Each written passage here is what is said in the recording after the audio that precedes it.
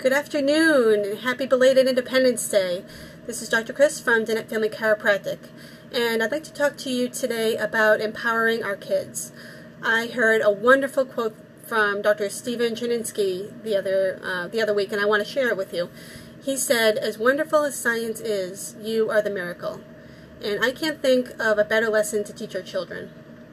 All day long, we are getting constantly bombarded with messages about how our bodies are flawed, how we need drugs and medicine to make it through life.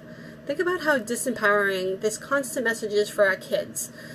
They're saying that you need these pills, that your genetics are inherently flawed, and that without drugs, lotions, potions, you won't be happy.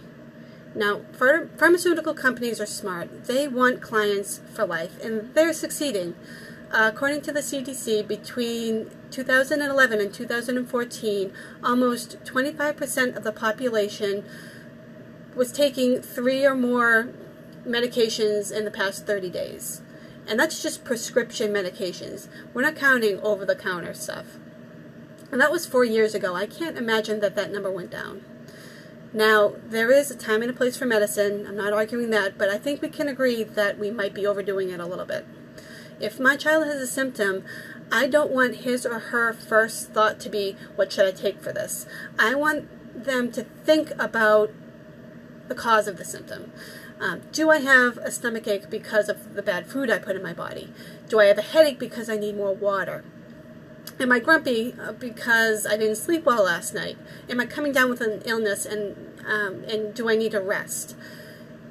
And if we as parents are constantly reaching for the medicine cabinet every time a symptom arises, it further emphasizes the messages that they're getting bombarded with that my body is flawed and it needs something outside of it to heal. Um, my two cents I want to make teenagers as easy as possible um, by teaching them to think and consider every single drug that they put in their body before it becomes a habit of taking something when they're not feeling perfect. If someone in our house is vomiting or has a fever, we first make sure that their nervous system is clear by, uh, by checking their spines and adjusting them if needed, and then giving them fluids and snuggles and letting their body do what it needs to do and rest and recover.